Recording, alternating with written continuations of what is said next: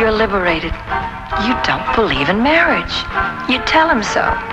You wear Ma Griffe. He slips on the ring.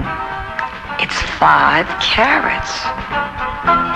Give a gift of Ma Griffe perfume to a liberated woman and apologize for unliberating her.